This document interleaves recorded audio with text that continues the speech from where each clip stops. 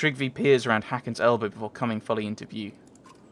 Heading south is questionable. Those people. Why do you say that? Maybe I spent a lifetime there. Plenty of things to eat under logs, but there's also people in the bogs. His eyes go wide. The skull should hear my rhyme. But what's wrong with heading south? Ah, oh, look, we got the patterns.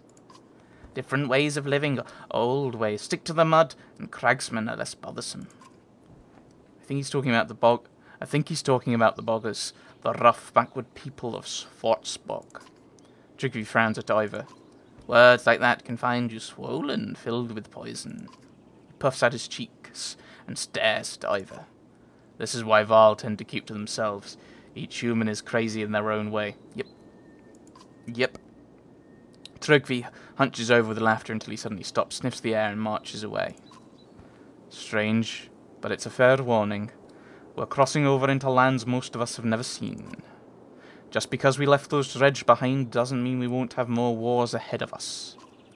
If we had more supplies, I'd say we, we should stop for a few days and train some of these clansmen to fight.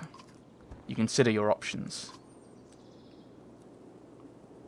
Um, don't want to risk running out of food. Let's just camp. We'll consider training clansmen later. Calls for camp spread down the line. We can take the option up to trade some of them. It might be useful. Oh, Ludin! Ludin wants to talk to us. He might have an idea. The prince is acting even more standoffish than usual. You and Ivar have caught him staring, staring around, staring ahead and twisting the ring on his finger over and over. Yrsa quietly stands nearby. Glad to be heading home? Ludin turns to the two of you and offers a polite smile. Even after that chasm, would it surprise you if I said no? Uh, I thought you hated being so far from Arberrang. Life on the trail hasn't won me over, but it's not all bad. It's even possible that I've learned a few things about leading people while out here. You, Ivar, and Yrsa are stunned to hear the prince talk this way. I've grown up in comf comfort and trained with scholars and fighters. I've never known anything else. Saying stuff like that won't make you any friends in this caravan. But that's just it. Among the clansmen, I've seen the differences. I think I understand them a bit more. Uh, that's great. Uh, what do you plan to do with this understanding? If we make it to Arberrang without being slaughtered by Dredge? When we make it. I'll talk to the king about my ideas for sharing information. Advisors learning from craftsmen. Craftsmen learning from advisors. You've never seen the prince this animated, but then his face falls. I just don't think the king will appreciate my knowledge. Yrsa will agree. My father's not what you call open-minded. The king is a hard man, has to be, but his son is his weakness. Uh, uh soft spot, I would assume, because he's the prince. Uh, can you tell me about King Meinolf? I suppose, but there's not much to him. He's king, he draws a hard line on nearly every topic. Talking to him is much like being told what to do. In fact, it is exactly that. I used to think the same thing about my father, sometimes. This isn't about being his son. You'll see. Kings usually have to make tough decisions and stick with them. Maybe someday you'll see why. I know, I just don't think he'll care for my ideas on treating with pairs, uh, commoners. What would you like to be called? We're all people, Prince. Even you. You have a charming way of humbling me. Yrsa rolls her eyes. Just uh, I assume this is a let? Just keep an open mind about your father the way you'd like to, him to have towards your ideas. That's something I've never considered before. I shall think on it. As Prince Ludin and Yrsa walk away, you feel Ivar watching you. What? When did you become so full of sage advice? Since I started listening to you? Don't start making that mistake. Two of you share a smile before moving on. Uh, training! Well, come on in, let's have a look at you. What can you show me? Plenty. Try to keep up. What about your other fighters? Ever used a violin arch to trap somebody? You think about what he's saying. Feel up to the challenge? Let's try it.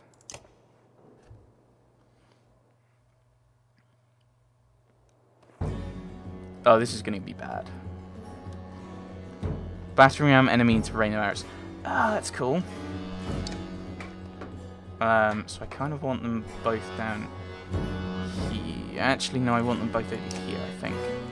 So I can push around that way.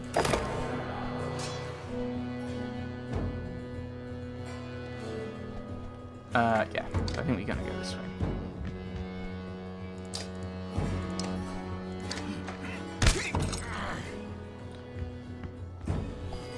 And, which is it? You're over there, okay. Oh, now we need to move. So I need to move forward. I need to move up to there, I think. But right there. And then battering around this fella. Oh, headbutt. Yay. Yay! I like that training. It was easy.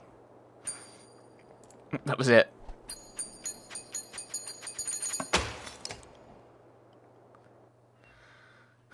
Next one. Do you have another one? Come on in. What can you show me? Plenty. Never seen as never seen a mender with as much power as this Eyvind, but after watching him a while, bet I can show you how to really benefit from the lightning of his. Then we begin.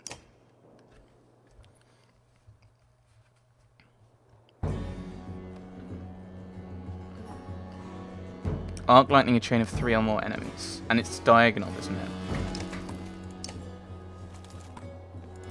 Just put you there. Um. Uh, so that's actually one of those moments where battering ram to there is not helpful. Almost kind of like you're thinking, I've got to think about like battering ram, battering, yeah, using battering ram on people. Actually, can I battering ram you? So you go to there. Oh, you've gone too far. So I've achieved nothing. I've achieved nothing.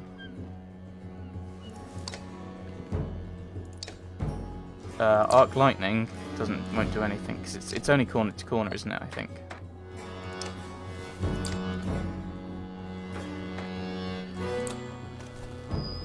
There you go.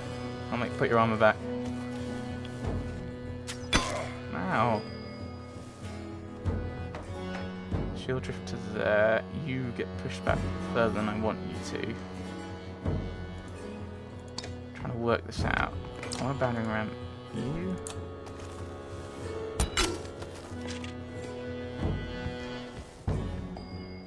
No, I want diagonals. Diagonals.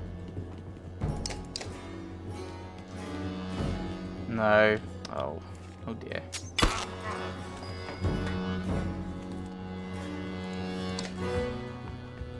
What about battering ram you? No, that's... That's not diagonals. Stop it. Diagonals. It's hitting you.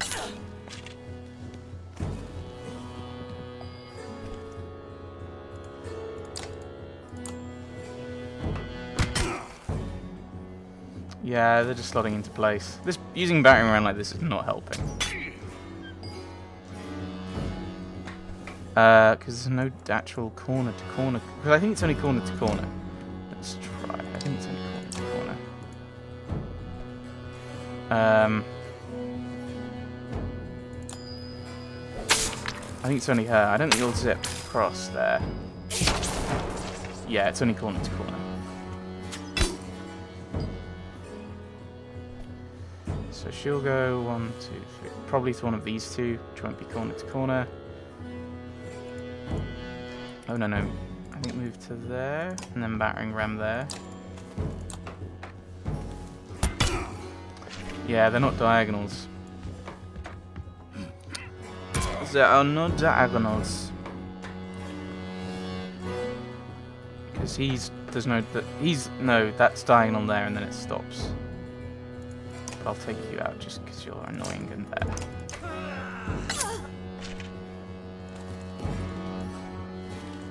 Yeah, we're having issues. I'm trying to work out what I want to do with this. If I battering ram you there, you end up here, these four. If I come around to here and battering ram you, you end up really far back. And I want to see what will happen. I can't do it. Oh. That's annoying. I didn't realise that. Ah, so it's only four. It's a maximum of four then. So yeah, you go. That push him back too far. Um, I can't. I just can't target you at all. Uh, so I may. So I think I'll just attack. While I try and work out what I'm doing. People are moving up. There's two. But it's not sufficient. I need to... You, my dear. I want you to come here. Uh, so I actually want to... Actually, what's my... Well, I can do, I can walk up anyway. Let's go as far away as we can to try and pull her over here. Oh, no, actually up there. But alright, no, you didn't do what I wanted you to. Being mean. Being mean. Four. That's not helpful either, but...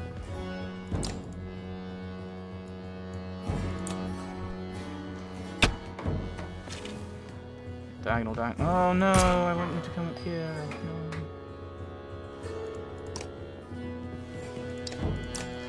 No. Yeah, so that's not a diagonal. That's a diagonal. Oh, hello. Actually, there we go. One, two, three.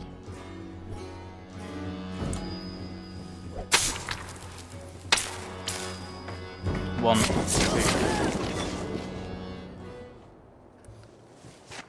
It's yeah, like I I didn't don't think I did any positioning there that actually got them into that, or at least not deliberately.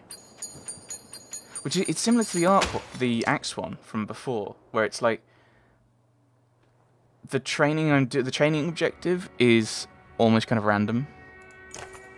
Coming in, let's have a look at you. What can you show me? Plenty. Yeah.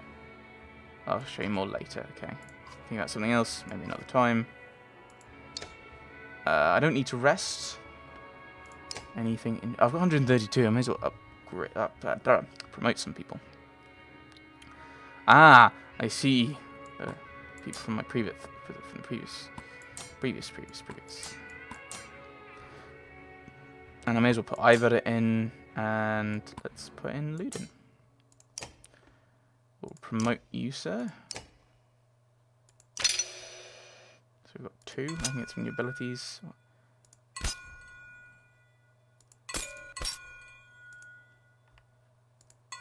Ah, because I'm technically at rank 5 because the thing we've got. I think we'll go with that to get bonuses there. Although I could have looked here, couldn't I? Yeah, well. I don't have any extra bonuses. Gunnulf is the highest rate ranked person we've got. Um, what's this one? Plus two to all talent ranks. What what have you got? Bonus armor. So if I give you that,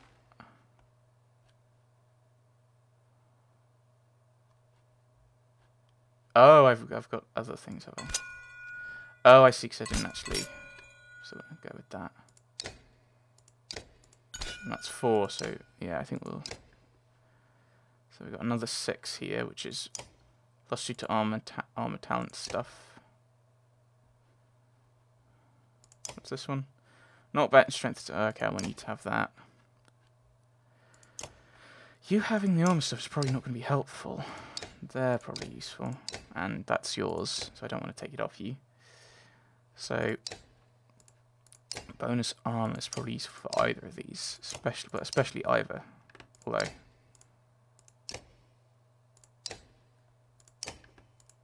no, oh dear.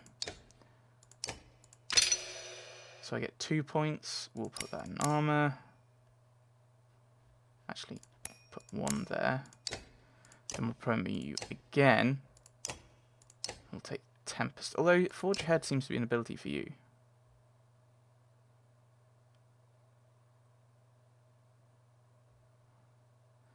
Um, I think Forge Ahead makes sense for you. Uh, so we've got two more things. We're going to go one, and then we'll get Chance to resist armor damage or the take regeneration, I think. And we'll go back and we'll give you that.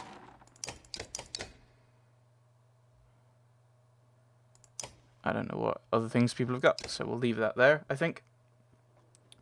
So we've got 95, so that gives us a bit of range and a bit of flexibility if we need to buy food. But we've got quite a bit of food anyway. I don't think we need to. Um, but it might be useful to do so. Gunnulf, Gunnulf can level. I want to see, how high can I get him? Um, that's already maxed. Is that maxed? Just puncture as much as possible. Uh, exertion. What are these ones? Dodge, chance to avoid strength attacks, bonus chance to hit. Promote. Level 10. That's as high as he can go, and it's just how many hits has he gained. Um, and we'll go with the, no.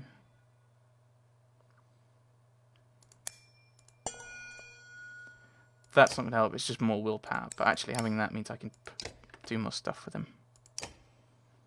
So he's max level now. I think I might just leave it with the 55 and hold off on... I mean, I don't, because I don't know if I'm going to want to buy things later with this group. So we'll, we'll go with that. Oh, I could have trained some clansmen into fighters, which might have been useful, considering we've only got 70. But we've got a lot of Varl, so that might help. That might balance that out a little bit. A woman holds a young girl in front of you in a crowd of others. Caught her stealing enough food to feed a starving Varl, the woman says. Not the first time I've seen her at it either. She's part of the thin group of humans picked up on it. Why were you stealing? Never know when you'll get rid of us, Theo says. People always get rid of us. Her mother bursts through the crowd. Stupid girl. These people were good to us, but it's too late. Drifters, comes the angry shout from the clansmen. Drifters are people without a banner. They're blamed for all sorts of woes, mostly undeserved. The Varl and clansmen alike run them off before you can make sense of it all, but you're left wondering what will become of them. Oh, boo game! You mean I can't be all leadery and like, ah, maybe we shouldn't do this? Once you cross the Ormsa riverbed, the wind ceases to cut through the humid air. The darkening sky lets loose its rain, and soon fat drops of water turn the dirt path to sucking mud, slowing the caravan. Cloaks are pulled overhead, and children and animals are wrangled near the carts. I think I might camp and we'll rest, just to get our morale back up a bit. Oh, hello. Oh, Hogun! Oh, I'm sorry. Blonde Axeman, one of two twins from a small village near Skogra, is chopping into a fallen tree for no apparent reason. His swings look dangerous. Hogun, everything okay? He glares at you. Where's your brother Mogun? He left with the ravens, wondering if I should have done the same. Why's that? I followed your father a long way, and now you. And for what? My brother's gone. Wife and children are frightened of everything around them, including me. I tell them this constant fighting is only for a time, but it's changing me. I see it in their eyes, in my own reflection. Thought I was doing it to protect them, but if I think, but if they think I'm a monster, what's the point? What do you want to do? I'm torn. I think it's good for me to be out there fighting. Makes me feel alive, like I'm doing something. But I know why my wife worries. Her father was consumed with raiding, felt useless when he wasn't fighting. He died soon after she was born. Depths. You make big decisions every day. Just make this one for me, will you? Keep chopping that log. The answer will come to you.